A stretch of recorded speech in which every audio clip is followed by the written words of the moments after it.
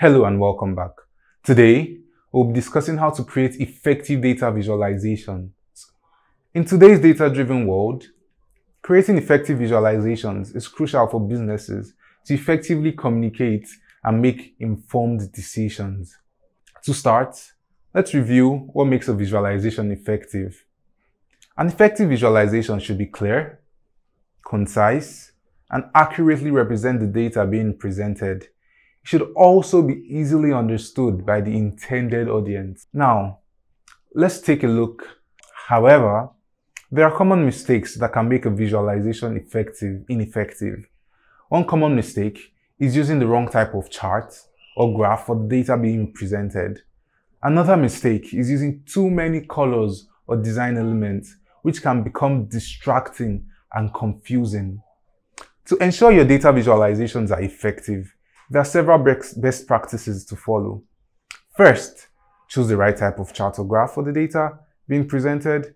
Second, use a limited color palette and design elements that enhance the data without distracting from it.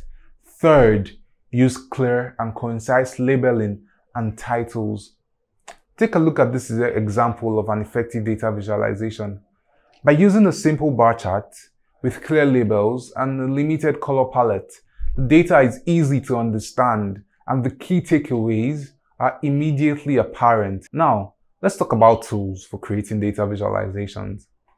There are many options available, from spreadsheet tools like Excel to more complex data visualization software like Tableau. There are also other tools in the Python library packages that can be used, such as the Seaborn and Matplotlib.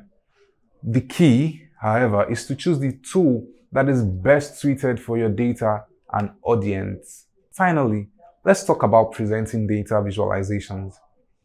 When presenting a visualization, it is important to provide context for the data being presented. This can include providing background information on the data, like where the data is gotten from, explaining the key takeaways, and discussing any limitations or caveats of the data.